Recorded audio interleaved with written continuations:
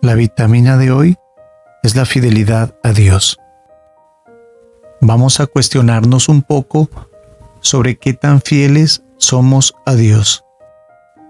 Te invito a que respondas mentalmente estas preguntas. ¿Le busco todos los días en las buenas y en las malas? ¿O solamente le busco cuando estoy necesitado? ¿Siento que en mi vida necesito siempre de Dios o hay veces que no me acuerdo de Él?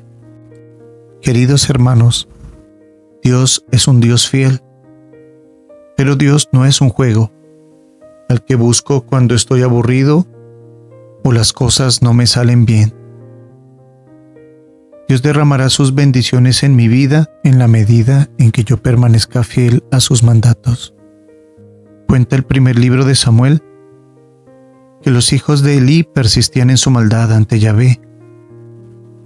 Un día los filisteos enfrentaron en una batalla al pueblo de Israel, donde Israel perdió a cuatro mil hombres. Entonces, Israel decidió volver al campamento donde se encontraban y el ejército ahí se preguntaba por qué habían perdido esa batalla. Así que fueron por el arca de la alianza y la llevaron al campamento para que Dios los apoyara. Y elevaron cánticos que asustaron a los filisteos. Y entonces Israel salió a enfrentar nuevamente a los filisteos, donde Israel fue batido.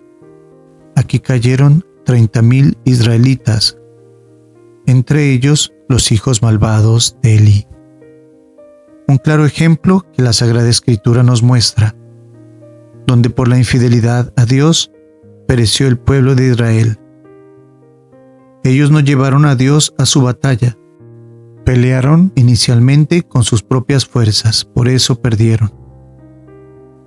Decidieron buscar a Dios muy tarde, cuando ya habían perdido la batalla. Te pregunto entonces, ¿cómo enfrentas tus batallas cada día? ¿Invocas a tu Señor al comenzar tu batalla diaria y lo llevas a donde quiera que vas? ¿O solamente lo invocas cuando necesitas de su ayuda? ¿Cuando has peleado tus batallas solamente con tus fuerzas?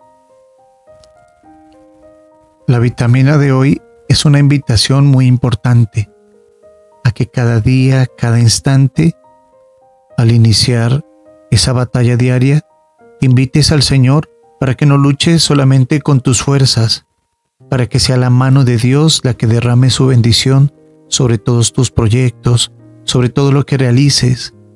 Ten en cuenta, hermano, que si permanecemos fieles al Señor, Él no se cansará nunca de ser fiel con nosotros. Si piensas en el mundo de hoy, Dirás, ¿qué le pasa a la humanidad?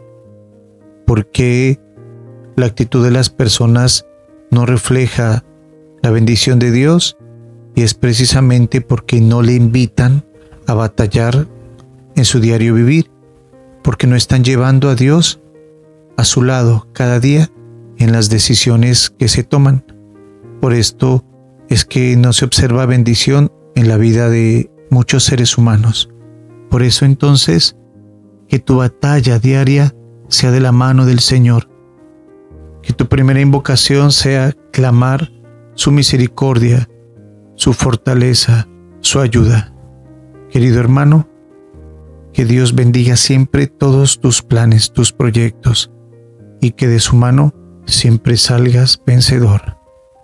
Que Dios Todopoderoso te proteja siempre, en el nombre del Padre y del Hijo y del Espíritu Santo.